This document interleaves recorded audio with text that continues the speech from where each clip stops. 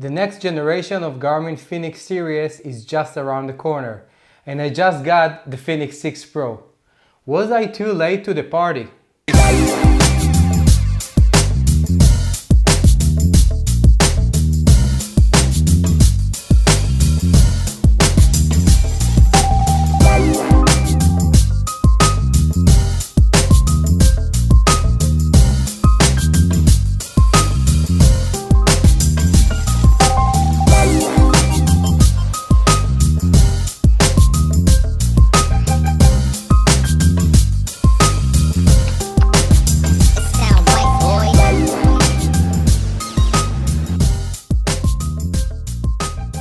Hi everybody, I'm Yair and welcome to my channel. If you're into sport and tech, you came to the right place. During the last Black Friday deals, I grabbed an amazing deal of the Fenix 6 Pro for only 399.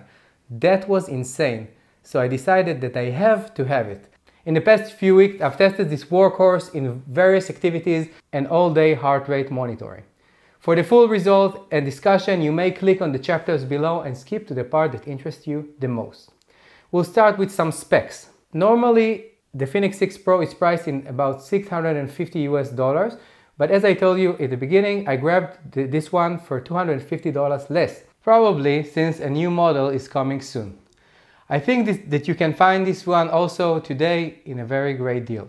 Just check out Amazon or wh- wherever you would like to buy. The Fenix 6 comes in one of four variations. The standard, the Pro that you see here, a Sapphire model and Solar version. I've got the Pro one, so it should contain all the premium features that Garmin currently has to offer, at least from a software standpoint. The Fenix 6 also comes in three sizes S for smaller size, regular size like this one, and the X for the largest size available. Whenever I'll refer to a size, I will mean this one, which is the standard size. It weighs about 83 grams and you'll definitely feel it on your wrist. I was pleasantly surprised to discover that even though in the past few weeks it didn't leave my arm, it didn't bother me at all. The watch band is standard 22mm quick fit, so you'll be able to find many alternative watch bands out there. The Fenix 6 has a 47mm diameter screen and 1.3 inches of transflective display that is visible in any weather conditions. The resolution is 260 by 260 pixel and you'll definitely see much more crisp display if you compare it to other Garmin wearables. The claimed battery life is 14 days in smartwatch mode and up to 36 hours of GPS recording time. You can turn on battery saver mode, which will basically turn all of your sensors and most functionality to get up to 48 days or max out the GPS time to 70 hours by reducing the sampling rate. Since I'm using the watch including music and maps, my personal battery experience time is much lo- lower so I need to charge it every few days. The Fenix 6 has a water rating of 10 ATM, so you can swim with it in anywhere and immerse it in water. Just don't go scuba diving with it. It also has 32 gigs of internal memory to store all of your music, apps, and maps. The Fenix 6 has an optical heart rate sensor, a blood oxygen monitor, a barometric altimeter, compass, a gyroscope, an accelerometer, a thermometer, and of course, GPS and that we'll put to the test later in this video.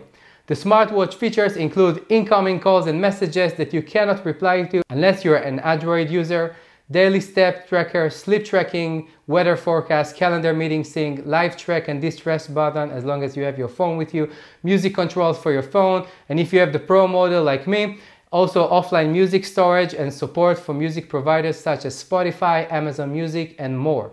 The Fenix 6 also supports Garmin Pay for contactless payments. The sport profile selection is insane. It includes all types of runs, outdoor and indoor bike, open water and pool swimming, strength, winter sport, yoga, Pilates, triathlon, climbing, golf. If you name it, it's there. Just insane. It's overwhelming to see the amount of sport profiles here. I really got lost. The Fenix 6 also support Garmin training plans and you can download your training plan directly from the app. The watch also is fully compatible with Garmin Connect IQ, which is basically the app store of Garmin where you can download apps, data fields, and watch faces to your watch. I've downloaded the Stryd Footpod app and also Komoot for navigation purposes. Another neat feature is the daily suggested workout. You can get suggestions from the watch for running and cycling based on various physical metrics. The Fenix 6 also supports the Pace Pro feature. By using it, you can set up ahead a course in the app, determine your target finish time, and Garmin will calculate the required pace during the course, including climbs. You can then download the Pace Pro strategy to your watch and use it in real time. It is very useful in races and can help you plan your strategy up ahead. By the way, check out my video about Pace Pro if you want to know how to set it up. Also, you can utilize the Climb Pro feature, which will automatically calculate your climbs at any given course and will accompany you during the climb, for cycling and for running. The sleep monitoring is quite accurate, and the watch did recognize the time I went to bed. Also, you can see in the graph the deep and light sleep duration and more. You also get a sleep score, which will determine the quality of your sleep. I usually don't get a really good score. Another physical measurement is the body battery.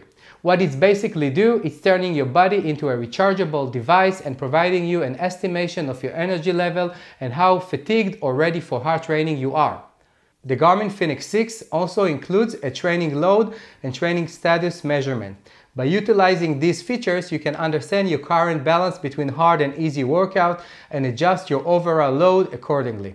The Pulse OX feature is also supported and you can choose to monitor your blood oxygen level at any uh, given time of a day or just on demand. Since it's a wrist-based optical sensor and not a medical grade device, I don't think it's worthwhile to drain your battery significantly for all day tracking. Maybe you can get a glance of it once in a while. In this section, we will analyze the Fenix 6 performance in various sport activities, including running, swimming, cycling, and strength training. Here we can see a run of the Coros Pace 2, the Fenix 6 Pro and the Polar Verity Sense for heart rate measurement. If you look at the GPS data, you can see that the Fenix 6 uh, Pro in red deviated from the course, while the Coros Pace 2 in blue maintained a better signal. In this corner, the Coros Pace 2 missed. If you look at heart rate measurement, you can see that in most run, uh, the Fenix 6 was consistent with the Polar Verity Sense, while the Coros Pace 2, especially when I started the chunk of running of the 20 minutes all-out effort, uh, the Coros Pace 2 couldn't catch up. There was only one spike of 192 BPMs that the Fenix 6 produced. Let's look at another run. Here we have the 455 versus the Fenix 6. Here I cross the parking lot, it looks fine. But then when I enter the main road, you could see that the Fenix 6 in dark red looks like it's over the houses and not in the main road. In other places you could see that the 455 deviated from the course while the Fenix 6 was a, has less deviation. Let's look at another run. Here you can see in blue the Fenix 6 and the Coros Pace 2 in orange. You can see that the Fenix 6 is all over the place. This was a very strange signal. And the Coros Pace 2 lo looks much better here and also in other places as well. We also have strength training. And you could see that both watches uh, did struggle a bit, but the Fenix 6 looks more uh, consistent with the Polar Verity Sense, while the Coros Pace 2 didn't really catch up all the sets that you can see here. So it really missed in those cases. Here we have a heavy bag workout. Here I punched the heck out of the heavy bag, and you can see that the Coros Pace 2 really spiked a lot, uh, the Fenix 6 tended to agree more with the Polar Verity Sense. They both missed an interval that the Coros Verity Sense did uh, catch. And in the end, the Coros Pace 2 also uh, was all over the place. In general, you could say that the Fenix 6 also did a better job here, but not as good as the Polar Verity Sense. So the Fenix 6 Pro is currently the best that Garmin has to offer, no doubt about that. You'll get all type of activities, sensors, full-blown maps, offline music support, suggested workouts, Pace Pro and Climb Pro, and much more goodies. Is that an overkill for most people? Probably yes. I believe that most active people can settle for less bells and whistles than this watch has to offer. It is also fairly bulky and not everyone will feel comfortable with this on their wrist. But with the current price point between 400 and 500 US dollars, it is hard not to recommend these amazing training tools. You cannot really find any watch that has all of these features at this price point. The interface is sleek, the execution is amazing, and you can't really expect much more than a GPS wearable. So I'll summarize by saying that if you have the money to spend and don't care about the probability that a new model is just around the corner and just simply want the best of the best, go for the Fenix 6 Pro. And if you have a smaller wrist, just go for the S version. Otherwise, you may want to consider a more down-to-earth version of running or workout watch like the 455 245 or the Coros Pace 2. Again, if you go above 300 US dollars, I don't think that you need to consider any other watch than the Fenix 6 Pro. That's all for today. If you like this video, don't forget to hit the like button. Also consider subscribing for more videos like this. Thank you for watching and don't forget to train hard and bye.